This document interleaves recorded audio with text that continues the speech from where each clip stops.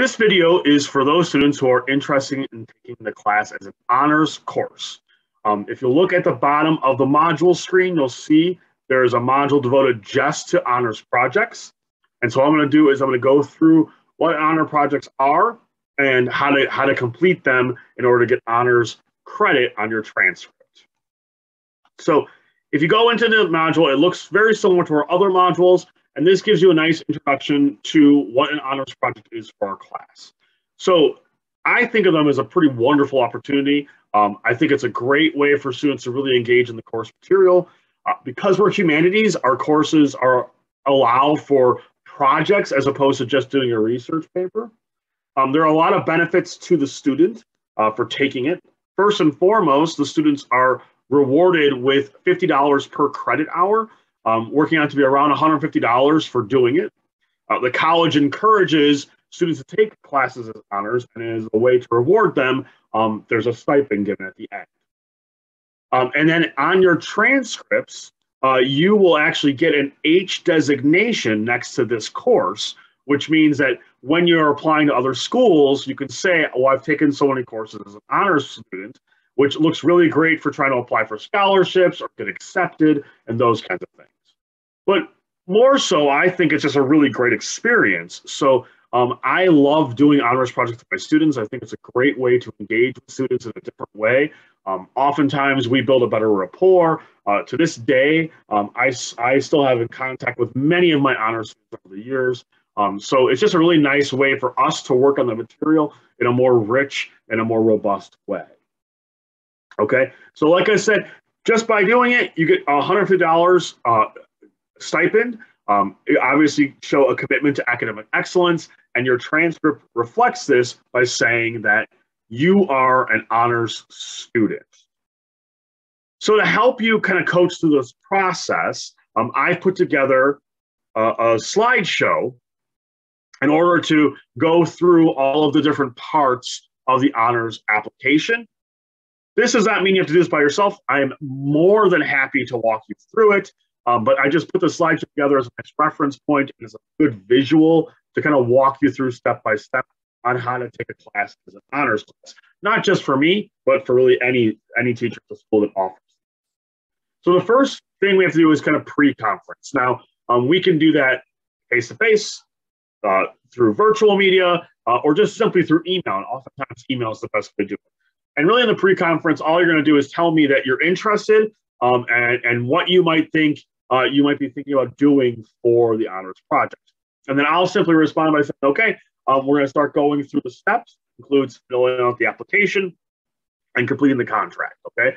There are two um, kind of files that I've actually put together for you that we need to submit to the honors program for approval.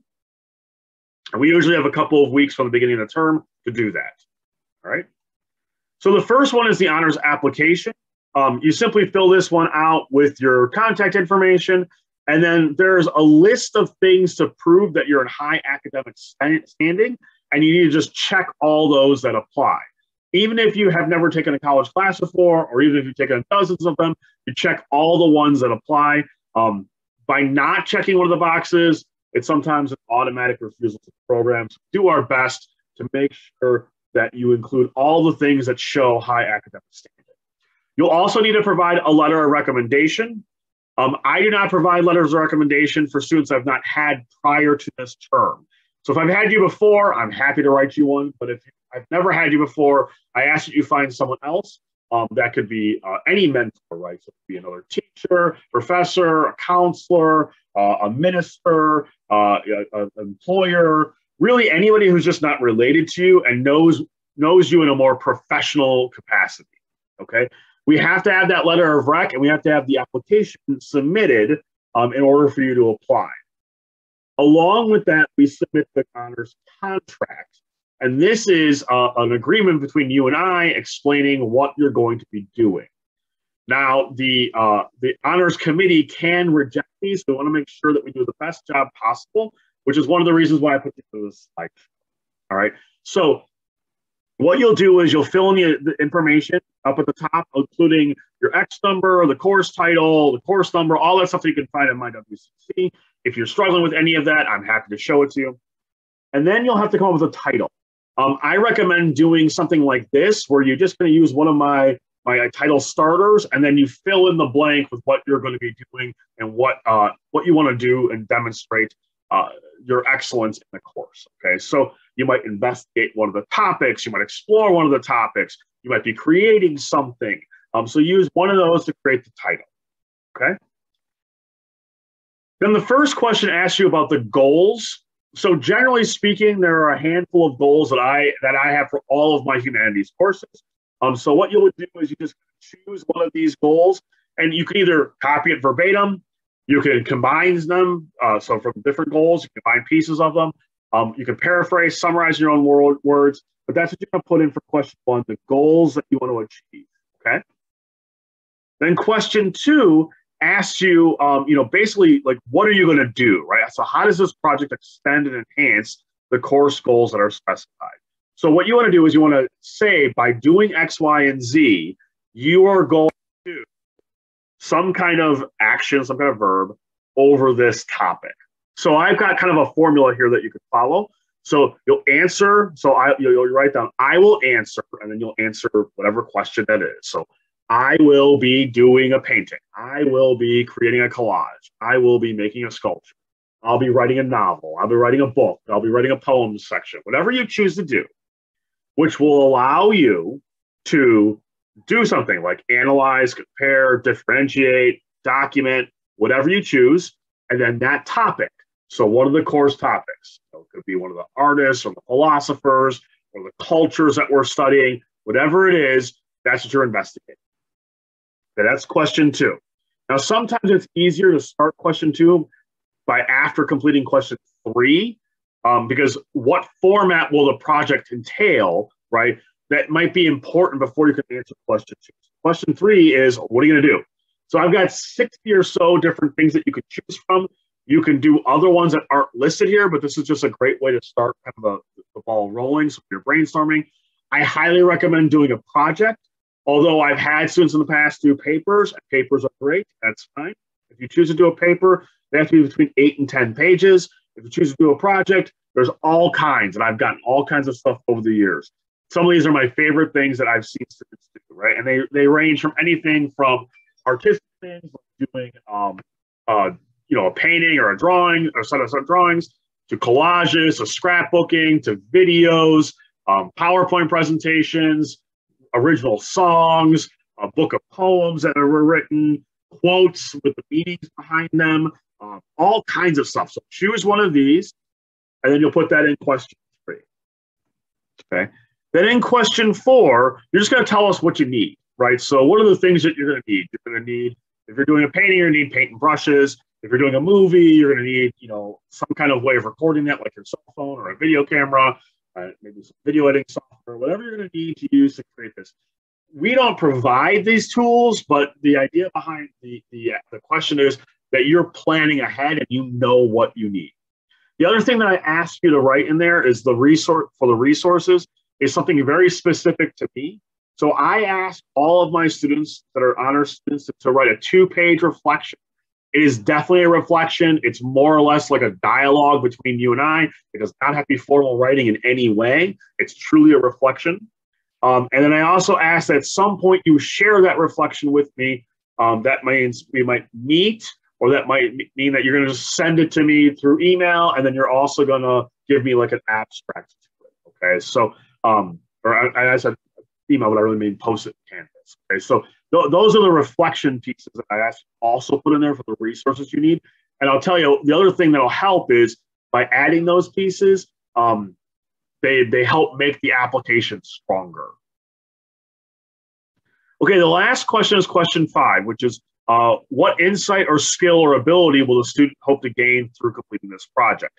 So here are all the skills that I think you learn and over time can master within the humanities courses. Okay, so some of the courses focus more primarily on one of the categories, others focus on many of them in general ways. So that's really up to you to decide what you want to focus on.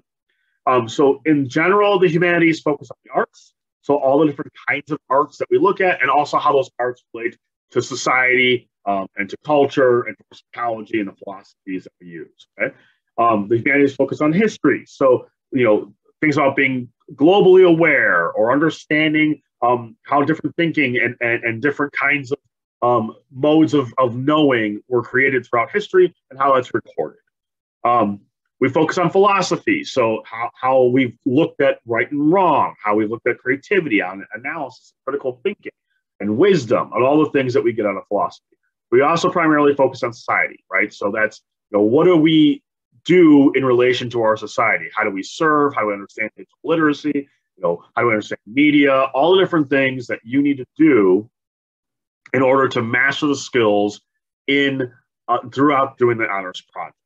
Okay. Once you've got questions one through five completed in the contract, as well as the application, you're going to send those things over to me. I'm going to review them. I'll sign off on both, and then we're going to send them into the honors program. Um, this semester, that'll be due uh, February 14th. Each semester after that, it's due usually a couple weeks after the beginning of the term. Okay. Um, we'll get that to, to Carrie Wilson. She's the, the uh, secretary for the honors program. We'll make sure that she receives all that information before the deadline. Okay. Once you've applied and once you've been accepted, then there are a, a few other things that we're going to do throughout the term. So the second step will be I'll do a check-in with you around week eight, and I'll just see how you're doing. Like, have you been working on your project? Have you decided to change your project? Um, because you can absolutely make changes to throughout this process. You're by no means married to what you apply for. Um, we can alter it as long as it kind of stays within the same realm. Um, but I'm going to check in with you and just see how it goes. We might meet via Zoom or via Canvas. We might just talk by email, but I'm going to check in with you. I'm to ask that we know um, that I know what you are doing and where you're at. And sometimes say, I got to be honest with you, I'm not really very far on this. That's okay. That's why I'm doing it. Okay. Then by the end of week 13, you're going to want to finish that project. And you also want to finish um, kind of writing the reflection. Okay. So the first step is completing the project. So the steps for that are beginning that brainstorming and working through the process, then start planning and collecting materials, then executing by making, building, designing, whatever you're going to do, and finally evaluating and making sure you've made it the best you possibly make it, right? So at the end of week 13, you should have gone through all of those steps. You'll use that project and those steps to finish the last piece, which is writing your reflection. Okay, so in your two-page reflection, some some questions you might answer are, you know, what did you do? How did you do it, and why? Um, you know, what did you learn? How is this different than things you've done in the past? How much you do it differently the next time you do it? What did you enjoy most? What did you struggle with most? Why do you think that was? And, and what did the project tell you about yourself? How do you know? What connections can you make? Do you have to answer all those questions? Absolutely not. Those are just guiding questions to help you reflect and do a, a really truthful reflection on the process. Then, once you've done your reflection, in your project, you'll submit both to me um, we may do a final conference. That might mean that you just send me an email along with everything and kind of summarizing what you've done.